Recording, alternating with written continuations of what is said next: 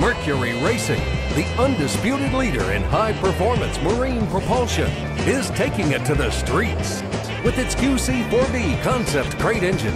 It's a 1650 engine, the same engine we put in the marine application, but this time applied to uh, an automotive platform, the Ultima GTR. We've already made a massive impact on the uh, marine industry, and now we're looking to make a similar impact on the automotive industry in high performance cars. Race proven in extreme marine environments, Mercury Racing engineers have adapted the QC4V's superior performance and reliability for use in a variety of automotive applications. I came to Mercury Marine a couple of years ago after a long uh, career in the auto industry. Being a long-time uh, boating enthusiast, I was able to kind of mix the best of both worlds and bring some of my automotive passion into the into the marine world. This SEMA show was a standout success for Mercury as the QC4V crate engine garnered the 2013 Global Media Award for one of the year's best new products. Reinforcing the company's dominance on the water was the display of DCB's M41 wide-body catamaran.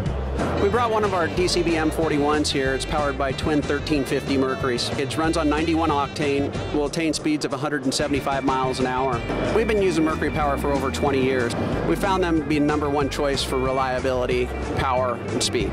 Mercury Marine jumping into the automotive industry here is a game changer.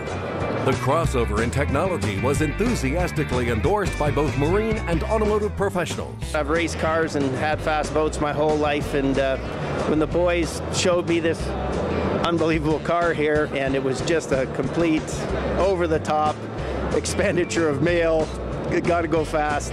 Uh, testosterone, and uh, we're really proud to run these engines in our boats and uh, be part of the Mercury program here. It's just phenomenal. And this isn't Mercury's first road trip towards the advancement of automotive engine technology. That's a very uh, proud and rich history with the Mercury Marine and the founder, Carl Kiekhaefer, and his NASCAR heritage. Fast forwarding in 1990, General Motors relied upon Mercury Marine to help develop and manufacture the LT5 Corvette engine.